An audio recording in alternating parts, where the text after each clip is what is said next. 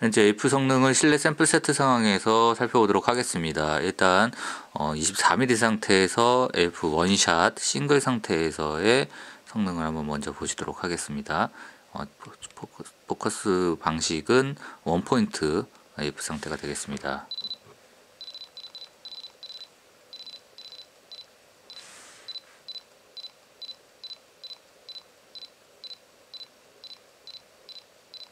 네, 굉장히 빠른 AF 속도, 를 보여주고 있고요. 어블린 현상이 전혀 없는 그런 특징을 보여주고 있습니다. 50mm 상태가 되겠습니다.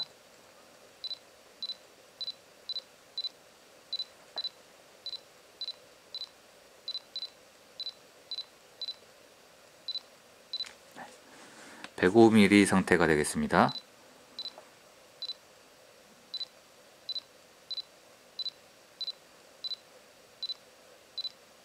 네, 전체적으로 상당히 빠른 AF 속도를 보여주고 있고요. 뭐 망어 쪽에서 약간 속도가 저하가 되기는 합니다만 어, 이런 현상은 비교적 공통된 현상이 되겠고요. 어, 이번에는 AF 서버 모드를 한번 사용해서 테스트를 진행을 해보도록 하겠습니다.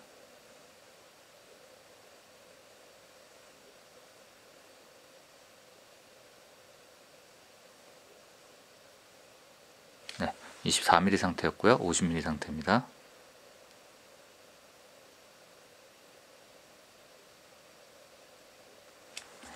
105mm 상태입니다.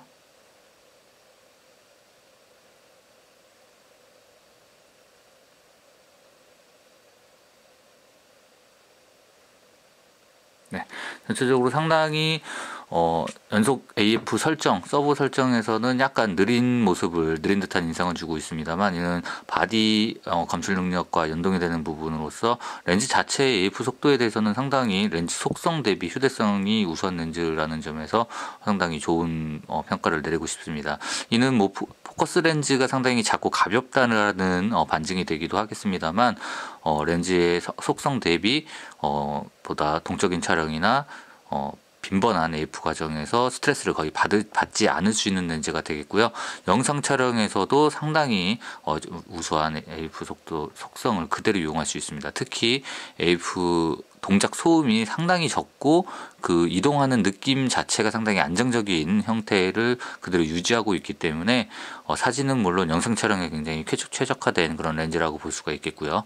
연속 촬영의 경우에서만 약간 어, 부드러운 쪽에 속하는 빠르지는 않은 평이한 속도 쪽으로 어, 렌즈가 어, 구동된다는 특징을 이해하시면 될 것 같습니다.